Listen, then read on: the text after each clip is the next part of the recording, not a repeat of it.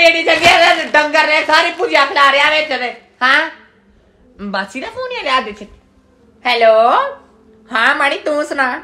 ਮੈਂ ਠੀਕ ਠਾਕ ਆ ਕੇ? ਨਵੀਂ ਤਾਜੀ ਨਵੀਂ ਤਾਜੀ ਕੋਈ ਨਹੀਂ ਬਣਾ ਕੱਲ ਵਿਆਹ ਵੇਖਿਆ ਕਿਤੇ।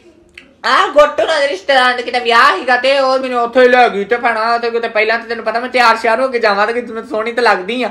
ਤੇ ਆਹੋ, ਖਾਦਾ, ਵਿਆਹ ਖਾਦਾ ਇੱਥੇ। ਆ ਇਹਨੇ ਪਹਿਲਾਂ ਫੋਟੋ ਵਾਲੇ ਨੇ ਅਹ, ਕੈਮਰੇ ਵਾਲੇ ਨੇ ਡੱਬਾ ਜਿਹਾ ਲੈ ਕੇ ਤੇ ਮੈਨੂੰ ਤੇ ਉੱਥੇ ਆ ਕੇ ਤੇ ਫੋਟੋ ਖਿੱਚੀ ਬਾਹਰ ਤੇ ਉਸ ਤੋਂ ਬਾਅਦ ਭੈਣਾ ਮੈਂ ਜਦੋਂ ਖਾਣ ਲੱਗੀ ਤੇ ਉੱਥੇ ਗੋਲ ਗੱਪੇ ਵਾਲੀ ਰੇੜੀ ਤੇ ਵੀ ਆ ਗਿਆ ਟਿੱਕੀ ਵਾਲੀ ਰੇੜੀ ਤੇ ਵੀ ਆ ਗਿਆ। ਮੈਂ ਕਿਹਾ ਭਰਾਵਾ ਮੈਂ ਨਾ ਉਨੀਆਂ ਚੋਂ ਨਾ ਇੱਕੀਆਂ ਚੋਂ ਨਾ ਸੱਦੀ ਨਾ ਬੁਲਾਈ ਮੈਂ ਲਾੜੇ ਦਿੱਤਾ ਹੀ ਮੇਰੀਆਂ ਨਾ ਖਿੱਚ ਮੈਂ ਨਹੀਂ ਇਹਨਾਂ ਦੀ ਰਿਸ਼ਤੇਦਾਰ ਰਿਸ਼ਤੇਦਾਰ ਮੈਂ ਤੇ ਉਤਰਾ ਹੀ ਆ ਗਈ ਸਹੇਲੀ ਨਾ ਆਪਣੀ। ਐਵੇਂ ਮੇਰੀਆਂ ਫੋਟੋਆਂ ਦੀਆਂ ਖਿੱਚੀ ਜਾਂਦਾ ਸੀ, ਨਾ ਮੇਰੇ ਕੋ ਖਾਦਾ ਗਿਆ ਨਾ ਹੋਰ। ਹਾਂ ਫਿਰ ਉਸ ਤੋਂ ਬਾਅਦ ਮੈਂ ਜਾ ਕੇ ਤੇ ਉੱਥੇ ਕਿਤੇ ਰੋਟੀ ਲੱਗੀ ਤੇ ਰੋਟੀ ਤੇ ਕਿਤੇ ਮੈਂ ਜਾ ਕੇ ਤੇ ਕਿਤੇ ਥਾਲ ਭਰਿਆ ਜਾਂ ਕਿਤੇ ਮੈਂ ਆਪਣੀ ਮਨਪਸੰਦ ਦੀਆਂ ਚੀਜ਼ਾਂ ਦਾ ਤੇ ਉੱਥੇ ਉੱਥੇ ਵੀ ਆ ਗਿਆ ਭੈਣਾ। ਮੈਂ- ਮੈਂ ਬੜਾੜ ਚ ਕਿਤੇ ਉਹਨੇ ਮੈਂ ਦੀਪੂ ਨੂੰ ਪਲੇਟ ਫੜਾਈ, ਮੈਂ ਕਿਹਾ, ਭਰਾਵਾ ਤੂੰ ਫੜ ਲੈ, ਮੈਂ ਕਿਹਾ, ਮੈਂ ਨਹੀਂ ਖਾਣ ਦੀ ਇਹੋ ਖਾਣ ਡਿਆ। ਉੱਥੇ ਮੈਂ ਕਿਹਾ, ਮੇਰੀਆਂ ਫੋਟੋਆਂ ਖਿੱਚੀ ਜਾਂਦਾ, ਤੇ ਭਾਵੇਂ ਕੁੜੀ ਦਾ ਪਾਪਾ ਮੈਨੂੰ ਵੇਖ ਕੇ ਤੇ ਮੱਛਾ ਤੇ ਸਿਆਪਾ ਗੱਲ।